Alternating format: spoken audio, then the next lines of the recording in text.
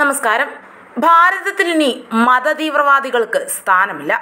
തീവ്രവാദത്തിനെതിരെയും അത്തരം സംഘടനകൾക്കെതിരെയും ശക്തമായ നടപടികളാണ് കേന്ദ്രം ഇപ്പോൾ നടപ്പിലാക്കിക്കൊണ്ടിരിക്കുന്നത്. ഇപ്പോഴിതാ പോപ്പുലർ ഫ്രണ്ട് ഓഫ് ഇന്ത്യയ്ക്ക് കൂടുതൽ നിയന്ത്രണങ്ങൾ ഏർപ്പെടുത്തിയിരിക്കുകയാണ് ആദായ നികുതി വകുപ്പ്. സംഘടനയ്ക്ക് ലഭിച്ചു വന്നിരുന്ന ആദായ നികുതി നിയമത്തിലെ എയ്റ്റി ജി ആനുകൂല്യമാണ് ആദായ നികുതി വകുപ്പ് ഇപ്പോൾ റദ്ദ് ചെയ്തത്. ഒരു പ്രത്യേക വിഭാഗത്തിന് മാത്രം ആനുകൂല്യം ലഭ്യമാക്കുന്നുവെന്നും ഇതുവഴി ആദായ നികുതി ചട്ടങ്ങൾ ലംഘിച്ചുവെന്നും ചൂണ്ടിക്കാട്ടിയാണ് സംഘടനയ്ക്കെതിരെ ആദായ നികുതി വകുപ്പ് നടപടി സ്വീകരിച്ചത്. ചാരിറ്റബിൾ സ്ഥാപനങ്ങൾക്കും ദുരിതാശ്വാസ ഫണ്ടുകൾക്കുമുള്ള സംഭാവനകൾക്ക് സംഘടനകൾക്ക് ആദായ നികുതി നിയമത്തിലെ എയ്റ്റി ജി പ്രകാരം ഇളവുകൾ ലഭിക്കും. ഒരു പ്രത്യേക മതവിഭാഗത്തിന് മാത്രം ആനുകൂല്യങ്ങൾ ലഭ്യമാക്കിയെന്ന് കണ്ടെത്തിയതായി ആദായ നികുതി വകുപ്പ് വ്യക്തമാക്കി. ആയിരത്തി തൊള്ളായിരത്തി അറുപത്തിയൊന്നിലെ ആദായ നികുതി വകുപ്പിന്റെ വിവിധ വകുപ്പുകളുടെ ലംഘനമാണിതെന്നും അവർ ചൂണ്ടിക്കാട്ടി. രണ്ടായിരത്തി ഇരുപത്തിയൊന്ന് മാർച്ച് ഇരുപത്തിരണ്ടിനാണ് ഇത് സംബന്ധിച്ച ഉത്തരവ് പുറത്തിറങ്ങിയത്.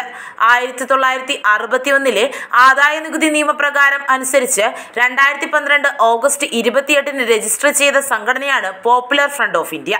ആദായ നികുതിയിൽ ഇളവ് അനുവദിക്കുന്ന എയ്റ്റി ജി ആനുകൂല്യം സംഘടനയ്ക്കും ലഭിച്ചു പോന്നിരുന്നു.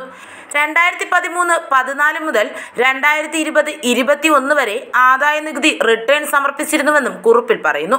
നിയമത്തിലെ twelve A A three registration റദ്ദാക്കുന്നതിലേക്ക് നയിക്കുന്ന പ്രധാന ലക്ഷ്യങ്ങളിൽ നിന്ന് വ്യതിചലിച്ചതായി സൊസൈറ്റിയുടെ മൊമ്മോറാണ്ടത്തിൽ നിന്ന് കണ്ടെത്തിയതായും ചൂണ്ടിക്കാട്ടുന്നുണ്ട്. വിവിധ വിഭാഗങ്ങൾക്കിടയിലെ സാഹോദര്യവും സൗഹാർദ്ദവും നശിപ്പിക്കുന്ന പ്രവർത്തനങ്ങളിൽ പി എഫ് ഐ ഏർപ്പെട്ടിരിക്കുന്നതായും കുറിപ്പിൽ കുറ്റപ്പെടുത്തുന്നുണ്ട്. ചൊവ്വാഴ്ച കൊല്ലം ജില്ലയിലെ പത്തനാപുരത്തെ പാടം വനമേഖലയിൽ നിന്ന് രണ്ട് ജലാറ്റിൻ സ്റ്റിക്കുകൾ നാല് ഡിറ്റണേറ്ററുകൾ ബാറ്ററി വയറുകൾ എന്നിവ ഉൾപ്പെടെയുള്ള വലിയ സ്ഫോടക വസ്തുക്കളും കണ്ടെടുത്തിരുന്നു. കേരള വനം വികസന കോർപ്പറേഷന്റെ കീഴിൽ വരുന്ന കശുവണ്ടിത്തോട്ടത്തിൽ നിന്നാണ് സ്ഫോടക വസ്തുക്കൾ പിടിച്ചെടുത്തത്. ഉത്തർപ്രദേശിൽ അറസ്റ്റിലായ തീവ്രവാദികളിൽ നിന്നുള്ള രഹസ്യ വിവരത്തെ തുടർന്ന് വനം വകുപ്പ് ഉദ്യോഗസ്ഥർ പ്രദേശത്ത് തിരച്ചിൽ നടത്തുകയായിരുന്നുവെന്നാണ് ഉന്നത വൃത്തങ്ങൾ നൽകുന്ന റിപ്പോർട്ടുകളിൽ നിന്നും വ്യക്തമാകുന്നത്. രാജ്യത്തെ വിവിധ സ്ഥലങ്ങളിൽ ഭീകരാക്രമണം നടത്താൻ വനമേഖലയിലെ ഭാഗങ്ങളിൽ കേഡർമാർക്ക് കായിക പരിശീലനം നൽകുന്നതിൽ പോപ്പുലർ ഫ്രണ്ട് ഓഫ് ഇന്ത്യ ഏർപ്പെട്ടിരിക്കുന്നതായി രഹസ്യാന്വേഷണ റിപ്പോർട്ടുകൾ ഉണ്ടായിരുന്നുവെന്ന് ദേശീയ വാർത്താ മാധ്യമങ്ങളും റിപ്പോർട്ട് ചെയ്തിരുന്നു. Web desk Tatwamayi news.